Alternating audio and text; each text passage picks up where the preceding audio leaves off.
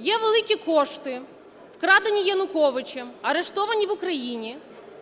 І завдання парламенту зробити так, щоб ці кошти були повернені назад в державний бюджет. Є український парламент, який зрадливо блокує це питання вже більше року. Є інтереси Януковича і його команди, які постійно намагаються розблокувати ці кошти. Є ситуація з підкупом депутатів.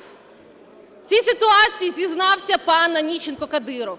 Він прямо заявив, що 30 мільйонів доларів з його кишені пішло на підкуп депутатів і дискредитацію, в тому числі і цього законопроекту. Бо в ньому був його власний інтерес заблокувати спецконфіскацію.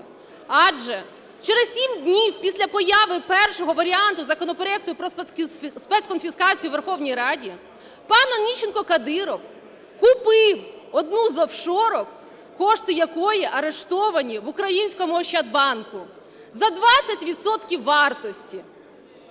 Після того він якраз і спрямовував велику кількість коштів, мільйони, мільйони доларів, десятки мільйонів доларів, для того, щоб заблокувати це питання і дати можливість Януковичам та іншим злочинцям зняти арешти з цих коштів. Якщо ми говоримо про Онищенка, він тут скеровував позицію батьківщини. Саме тому вона і заблокувала спецконфіскацію. Якщо ми говоримо про Онищенка, саме він курував позицію удара.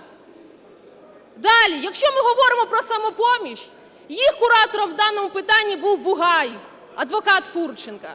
Якщо ми говоримо про єврооптимістів, їх куратором в цьому питанні щодо блокування цього законопроекту був Портнов через пана Каська. Так от, я відповідально заявляю, не вийде, шановні зрадники. Ці кошти повернуться в державний бюджет України. Ви не доб'єтесь зняття з них арешту і дерибану по власних кишенях.